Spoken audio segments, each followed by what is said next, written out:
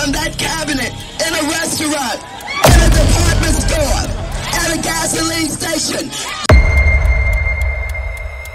You get out and you create a crowd, and you push back on them, and you tell them they're not welcome anymore, anywhere. We've got to not only stay in the street, but we've got to fight for justice. We've got to know that we mean business. I will go and take Trump out tonight. The hell with the Supreme Court.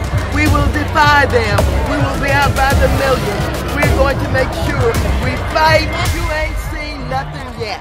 What exactly does she want? She has a history of inciting violence.